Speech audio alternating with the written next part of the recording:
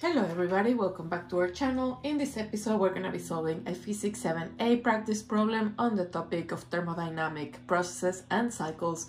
As usual, if you're finding this content helpful, please make sure to leave a like and subscribe as that really helps our channel. This is the problem that we're going to be doing today. Uh, Ravi is studying the thermodynamic process to the right, which is described at a PV diagram for one mole of an ideal monatomic gas that does not change phase. He measures that during this process, uh, 2600 joules of heat is added to the system. What is the sign of the work in this process? Calculate the final temperature, calculate change in internal energy, calculate uh, change in thermal energy, and then calculate the work in the process. Okay, so as you can see, I have my instructions over here and I uh, redraw the little picture of Raji's uh, process that he has. Now, unfortunately, this process is not any of the processes that we studied during our review session. So certainly not isovolumetric, isothermal, or adiabatic. The only one that it sort of resembles is isobaric because delta P is equal to zero. Um, if you look at the initial state, which is this one, and the final state, which is this one, delta P doesn't really change, it's equal to zero. However, isobaric by definition is not that delta is equal to zero. The definition of isobaric per se is that del is that P doesn't change um, as you go through the process. So pressure is not uh, a state function. So the path does matter. And in this case, uh, even though delta P is equal to zero, and it might seem like this is isobaric, uh, the pressure wasn't kept constant as you as we did the uh, process, which means that this is not isobaric. And then it's also not anything else. So any of the simplifications that we have right here, we unfortunately cannot use. We're gonna have to use the equations as such. Um, and why can we actually use these equations? Well, because this is an ideal gas, so we can use the ideal gas law. This is a definition, so that's always something we can use. And there are no phase changes, which uh, means that E bond is equal to zero, which means that we can use this approximation right here. And then this is also a definition that we have, so we could always use that regardless. All right, so let's get started. Uh, first thing that we have to figure out is the sign of the work. So that's pretty easy because on the review, um, we, we saw that work is positive if the volume is decreasing and negative if the volume is increasing. So we just have to look at the graph. So this is our initial and this is our final. The volume clearly goes from 1.3 to 2.3. So the answer to part A is that work is uh, if it's increasing then work has to be negative because volume uh, increases. There we go. Again, this is something that we saw in the review, negative if volume increases. So it really is as straightforward as that. So now we move on and we have to figure out our final uh, temperature, which is gonna be pretty easy because we do have uh, an ideal gas. So what we're gonna do is just use our ideal gas law. So for B, the ideal gas law is PV is equal to N, N I'm sorry, RT. So if I solve for temperature, my final temperature this goes dividing so this is my final pressure my final volume my number of moles which which doesn't change times r which is just a constant. So pv um, so this is one but this is kilojoules so this is 1000 bf is 2.3 and it's just one mole and then um, R is 8.314. Uh, please note that I had to change this into joules because R, the units of R uh, um, is joules mole Kelvin. So because this is joules and you have to cancel the joules, this can't be kilojoules. Uh, so that's the reason why I had to do that. So the final answer is, let's see, calculator time, 1000, 1, 2, 3, times 2.3 divided by 8.314 and that will be equal to 276.64 kelvins final answer. All right so now we move on to part c. So part c is asking us for change in e thermal okay so change in e thermal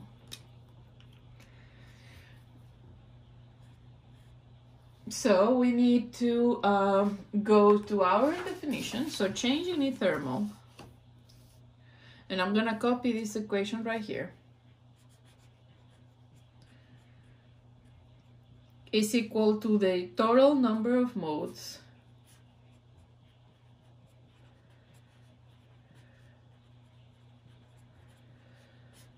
One half kB delta t like this. Um, so this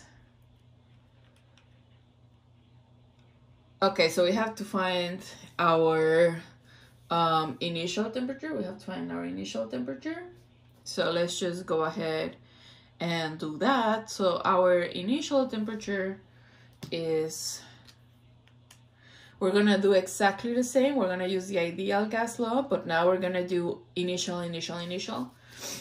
So our initial temperature is our PI, BI, and R. So this is 1000. BI is 1.3 and is 1, 8.314. And then this is equal to if I just change this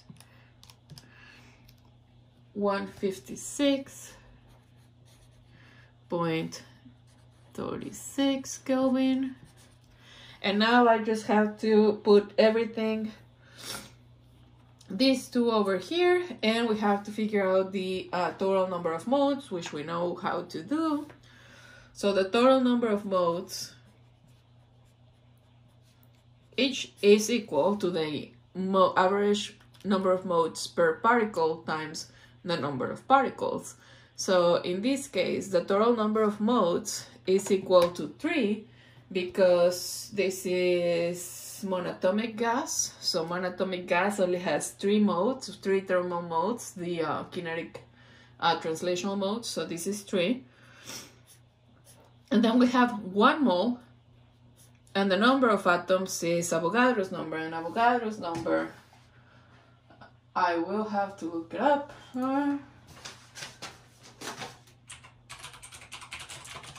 Avogadro's number, 6.022 times 10 to the 23 and then this is one half just because of the one half KB, uh. This isn't the quiz. I just don't have the quiz at hand. Uh, 1.38, 1.38 times 10 to the negative 23.